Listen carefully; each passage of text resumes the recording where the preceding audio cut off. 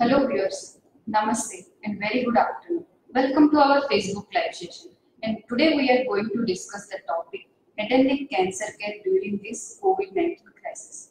And as we all know that we are facing this global COVID-19 and many unknowns. It may be particularly stressful for those who are undergoing the treatment for cancer and their caretaker. To discuss this, we have Dr. Hemanth Varma, who is our head and neck surgical oncologist at Apollo Hospital, Visakhapatnam. If you have any queries regarding this, you can drop us a message in the comment box. We can take them during the live session. Welcome, doctor. Welcome to our Facebook live session. Thanks very much for uh, introduction, uh, Nuja. Uh, good afternoon, everyone. Uh, I am Hemanth Varma, head surgeon at Apollo Cancer Hospitals, Visakhapatnam. Well, today I am here to discuss the implications of the ongoing COVID-19 crisis upon the cancer care of head and neck cancer patients. Well, February 11, 2020, WHO has announced the name for the new outbreak and virus of the novel corona as COVID-19 and March 11th, WHO has declared this COVID-19 as pandemic outbreak. And this is uh, this had uh, tremendous implications on each and every person person's daily routine since the last three months as we see. And this is going to last for quite some time more until we have vaccination in our hand. So but unfortunately facts cannot be changed. As a matter of fact i want to remind everyone covid can stop uh, our routine. But covid has got nothing to do to stop the ongoing tumor progression which i mean to say all the head and neck cancer patients for any cancer patient the tumor uh, nature by nature tumors keeps on growing. And it has got nothing to stop and nothing to do with any kind of lockdown measures whatever the governments are taking to combat the present pandemic outbreak situation. So uh, these are the things which need to be kept in mind especially those people who suspect themselves as if one is having the symptoms of any of the symptoms of a query of uh, uh, cancer, they need to definitely uh, get into touch with the uh, specialist doctor to rule out if they have got any kind of uh, uh, proven or proven cancer or if they are fine with it. So uh, let us have a brief discussion in the, into the same perspective and uh, I welcome any of the queries in this regard. Yeah. Thank you, doctor, for this brief introduction. Uh, doctor, coming to the first question, how common are head and neck cancers? Okay, how common are head and neck cancers? Well, in this part of world, head and neck cancers contribute almost more than 50% of total cancers which have been registered in this country, Southeast Asian countries. Of that, Indian subcontinent shares uh, more than uh, the half of the head and neck cancers across the globe every year. And this part of world, especially Indian subcontinent and uh, uh low mid middle income countries, uh, due to the various factors like uh, tobacco usage at various forms, let it be the smokable, non-smokable, in form of quids and chewing tobacco, and all other scenarios. Uh, the incidence of neck cancer is uh, much, much uh, more when compared to the usual uh, Western community. Thank you, doctor. what are the symptoms of neck cancer?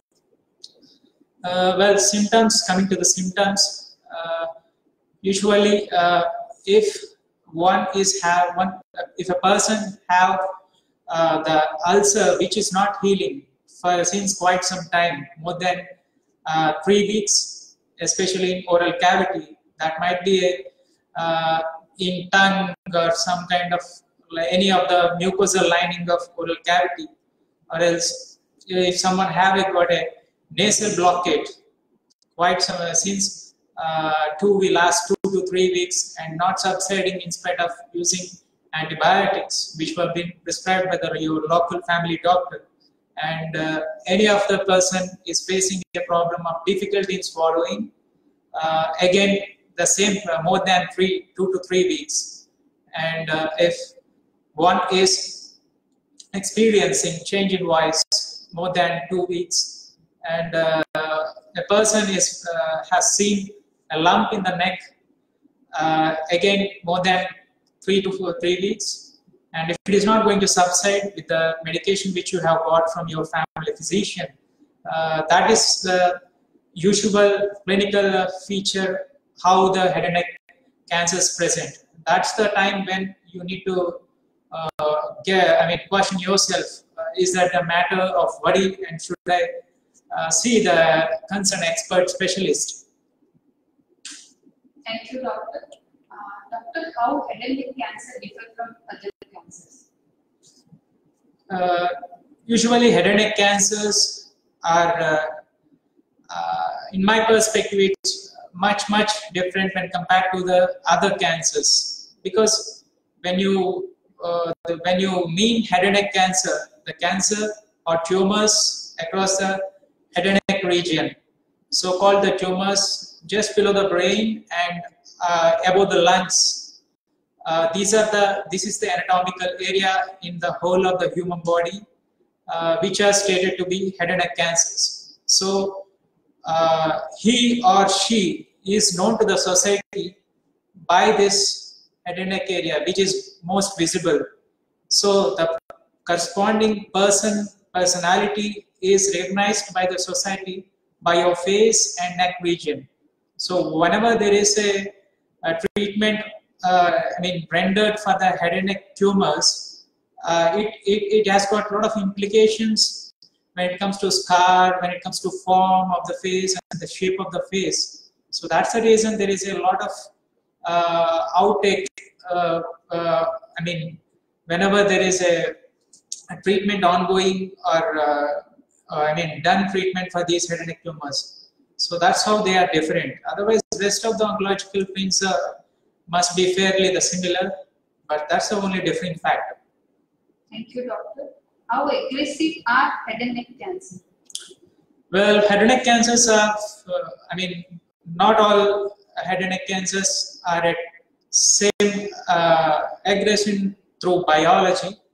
So when you consider oral cavity tumors, which are much, much common in this part of the world, so they are fairly aggressive disease, whereas thyroid, it is not very aggressive. At least you will have more time when compared to the other set of tumors in head and neck region, the rate at which they grow. So again, larynx or a throat uh, tumor, uh, it is again comparatively a bit less aggressive than oral cavity. So, but still, uh, these, uh, I mean, whichever uh, the malignancy or a tumor in head and neck region, uh, it need to be addressed not more than three to four weeks. So in this regard, I would like to add on, in medical sciences, we need to, uh, we used to call tumor doubling time. So that tumor doubling time for the head and neck cancer is uh, over uh, uh, 23 days in squamous cell carcinoma. So within the various, if not we days, within few months, within few weeks, the tumor keeps on growing from the stage of uh, curable to from the stage of non-curable to difficult curable stage. Thank you, doctor. Doctor, what are the implications of COVID-19 on head and neck cancer patients?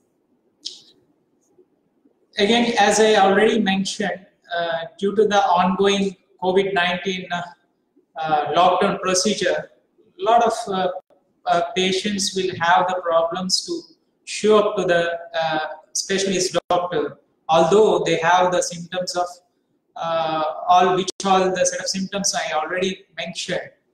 Uh, so, uh, and at the same time, we are going to uh, face the similar scenario for quite some time. So, uh, the whoever has got the uh, symptoms, they will have to get permission from the concerned authorities, and I'm sure they will definitely get their permission to visit the nearby uh, oncology facility to get the solution required. Thank you, doctor. One of the viewer is Ram Gopal. He's asking, Doctor, we would like to understand the consequences of the recent Vizag gas leak on the head and neck cancer patient and, and what kind of precautions should be taken care. Do we have any long-term consequences on, consequences on this content? Well, uh, yeah, Mr. Ramgopal, to answer your question, it's it's uh, there is a gas leakage uh, recently at uh, Visakhapatnam, yes, but uh, uh, it is vinyl benzene in a chemical its chemical form. Yes, it is having the oncogenic capacity. But if you ask me right now, there might not be consequences with, with regard to head and neck cancer. So uh, probably they might have the more susceptibility to develop kind of lung cancer or liver cancer in long term. Although I am not an expert of lung or liver as well. As of now, there are not much implications with regard to the head and neck cancer. Thank you, doctor. How to know the stages of head and neck cancers? Uh, well, it is uh, a simple usually head and neck cancer doesn't show up with uh, very much subjective symptoms like pain. One will find an ulcer which has been uh, inside the uh, mouth since some time, maybe more than two weeks, but but uh, it's it, it's not uh, very painful. That's the reason why he or she would not show up to the physician immediately.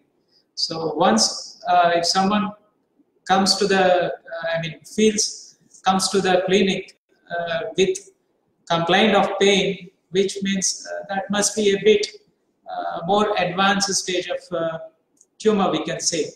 Otherwise, unless you visit a, a physician or a, or a expert specialist, uh, they, they will be assessing you clinically and uh, with the aid of the few scans, they would be telling you the exact staging of the uh, disease.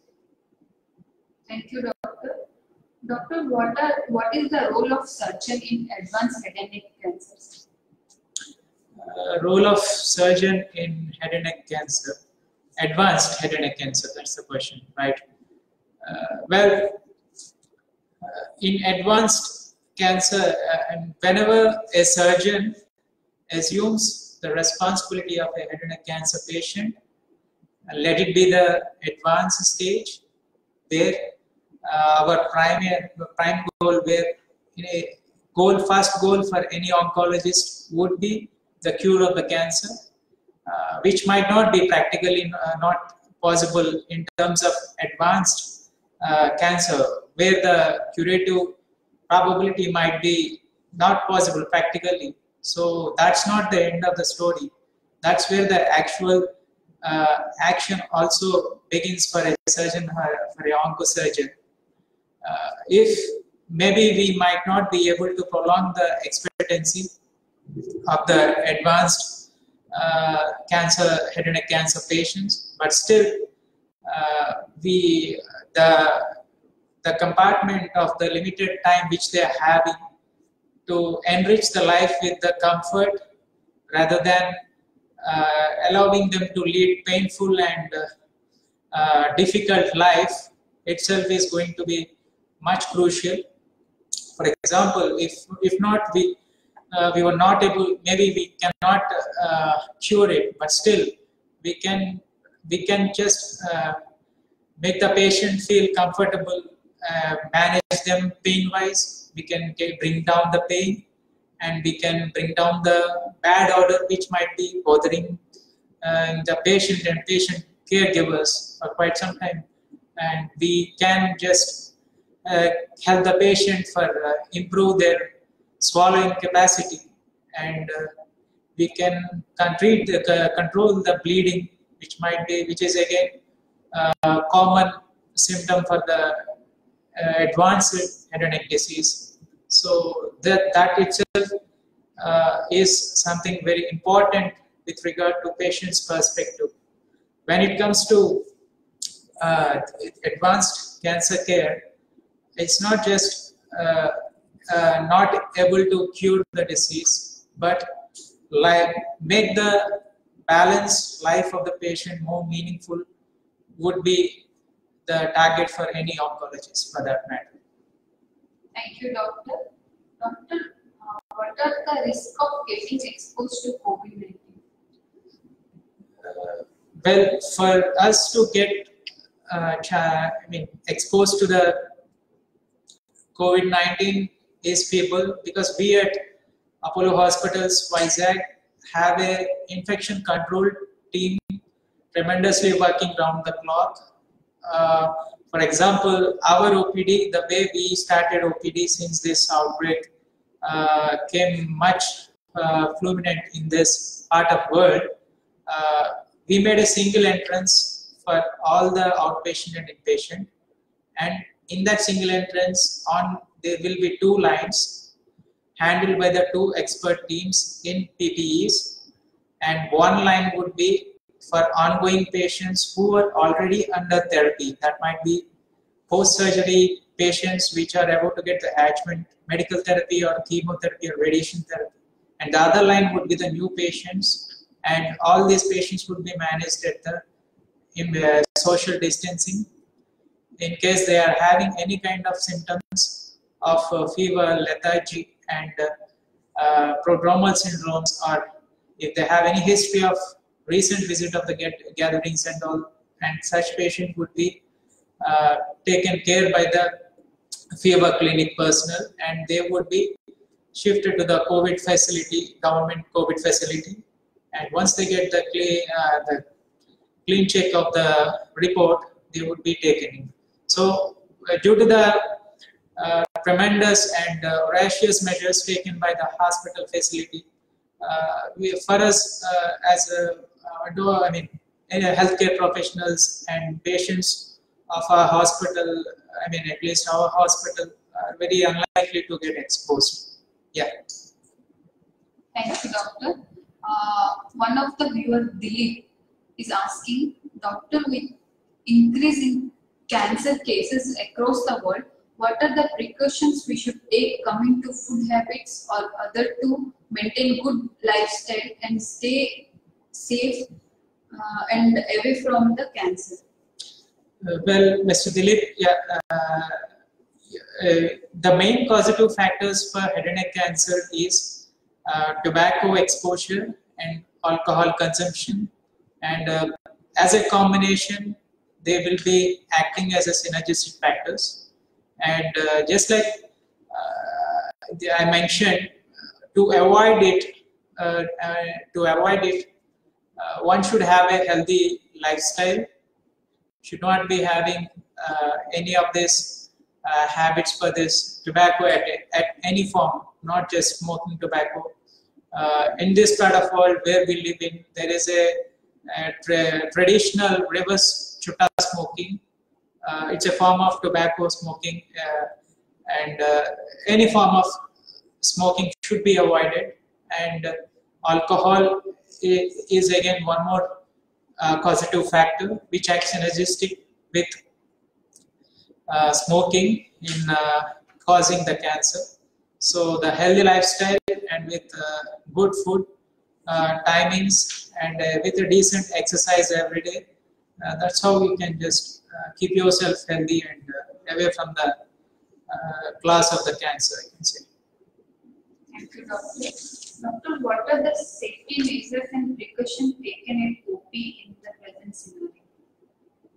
That's what I think I should. I have already answered this question. Uh, we have we made single entrance. Let it be inpatient or let it be outpatient. and uh, they, that would be handled in two lines by the two different teams in PPE and all the ongoing treatment patients will be allowed in one line and all other new patients and we want to see the consult uh, to have a consultation would be handled by the other team at a uh, social distancing and any of the uh, fever symptoms or any of the viral fever symptoms uh, would be assessed by the expert team there and they would be taken care uh, in according. Thank you, doctor. And are we giving any video consultation? Okay. Yes, yes. You have Ask Apollo, and uh, uh, if any of the uh, person, uh, I mean, feel that they have uh, one of the mentioned symptoms which I already elaborated uh, in the last few minutes, they can definitely get to us with this video consultation. Yeah. Thank you, doctor. Is there any is there any advanced treatment in head and neck cancers? Yeah, advanced cancer, yes. Uh, since the last two, two decades, uh, I mean, as I already mentioned, in head and neck cancer management, after they undergo the surgical therapy, or, uh, there will be a lot of defect or, uh, I mean, uh, dysfunction in whenever they underwent the resections of the oral and facial tumors. So with the advent of advanced microvascular techniques in plastic surgery, uh, which will uh, have the optimal cosmetic uh, effects compared to the past, where uh, the plastic surgery options used to be uh, very feeble. So uh, that is one advanced technique. It, that is one advanced modality of reconstructive surgeons, uh, surgery, uh, I would say. Uh, and apart from this, I've got a few armamentarium like leg, leg lasers and robotic. So few of the lesion, lesions of base tongue or initial stage uh, hypopharynx lesions can be well handled with the transoral robotic surgery. And uh, apart from this, we have got uh, very good scanning techniques compared to the past. Uh, MR and BMR and CT, we have got 3D CT. Uh, with that, uh, before uh, checking out my treatment plan inside the operation theater, I would be double sure uh, how deep the tumor is and and how big the resection is going to be. Based on that, that will improve our plan of reconstruction as well. And uh, this has got a lot of uh, implications in the better outcomes of the patients compared to the past. Sir, uh, one of our viewers, Jay Prakash, is asking, we came across many cancer cases without risk factors and some landing with secondaries. Why? Any risk factors for blood cancers?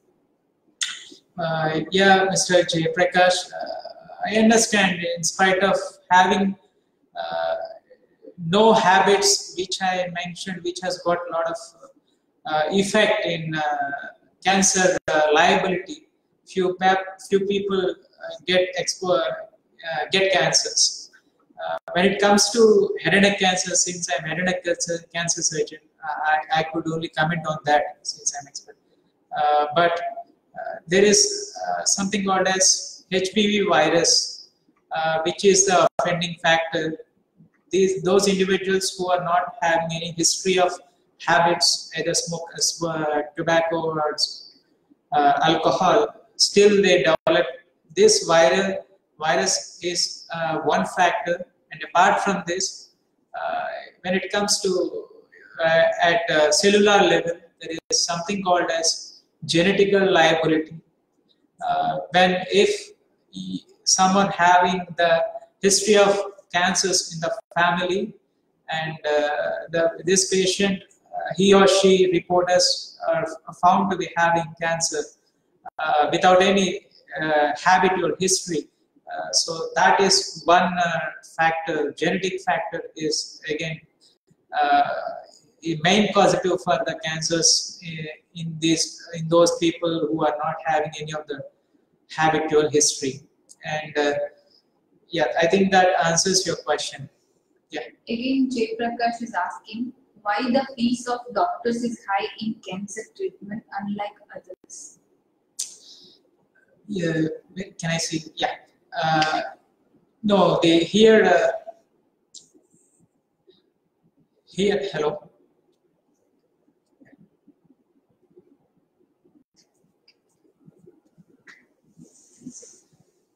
Uh, yeah, uh, thank you one and all. Uh, stay home and uh, stay safe. Uh, uh. And uh, regarding the to answer that question, that therapy, medical therapy, or whichever therapy to handle the cancer patients is comes out of a lot of I mean drugs which are in the which have been introduced uh, recently. When you look back in the last 10 to 15 years, uh, there are a lot of new drugs which has comes into the which have come into the uh, public availability. So these uh, drugs uh, over a time the cost will be coming down. But as of now, as you told, few few treatment, not all treatments of cancer patients are definitely a bit expensive. But I think very soon, once the multiple uh, companies comes into the this thing, the manufacture of these drugs in much of quantity, uh, the, the I'm sure the prices will be coming down. Yeah. Thank you, doctor. Another viewer is asking, um, doctor, does cancer have any symptoms and when it should I get tested for cancer? Well, Mr. Shiva, yeah, cancer will have symptoms, most of the cancer, but few cancers uh, comes without not much of uh, subject to symptoms, which means uh, which the patient feels as something uh, not well of mind, something is going wrong. Should I see the doctor? Uh, yeah, in such uh, such diseases, they I mean they they will be they will show up clinically in quite advanced stage. Yes, uh, and uh, to answer your question, that's your second question.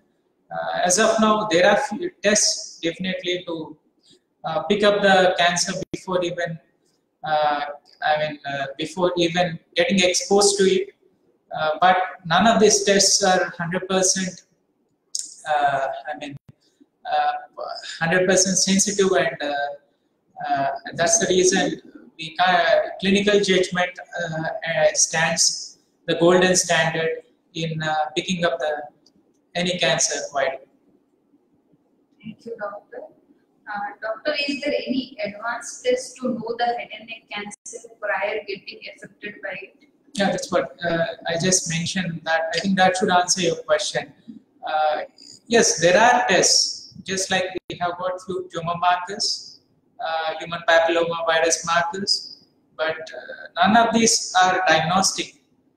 Uh, they are just maybe they, they will help us to assess the response of the patient to the ongoing treatment. However, for the diagnostic purpose, uh, biopsy, uh, biopsy, clinical judgment followed by the tissue biopsy of that particular query area stands the uh, stands as the gold mark. Thank you, doctor. Again, Jay Prakash, like, uh, thank you, but for the, as you told, like, uh, doctor fees are high, but in Apollo, we are giving a nominal prices for this OP. So, if you want to contact uh, any of our doctor, you can contact through our uh, website www.askapollo.com. So there you will understand like how the OP charges. and all. Thank you. Uh, coming to next question, sir. Uh, like how early one has to report if any of the symptoms that you had mentioned need to visit a specialist if any of the symptoms that you had not mentioned. Uh, sorry, can I have the question again, please? Sir, how early one has to report if any of the symptoms that you had mentioned Right, right. Uh, yeah, as we already uh, we have a discussion regarding the aggressiveness of the head and neck cancers. They are fairly aggressive, and uh, uh, and the bottom line is none of them uh, really progresses within the days. Any uh, you can just uh, get to see the specialist oncologist within a couple of weeks to three weeks. So that should be good enough. That has got nothing to I mean give a time to uh, the particular cancer to grow from stage to the I mean, upper stage. Thank you, doctor. Uh, another viewer, Deepthi is asking, doctor, does the cancer symptoms same for both men and women? Uh, yeah, Ms. Deepthi, yeah. Uh, for any particular uh, cancer, let us say uh, tongue cancer, which I mean, which someone will get in mouth, uh, the symptom will be the same. There is no uh, differentiality of gender here, uh, and it's it's just like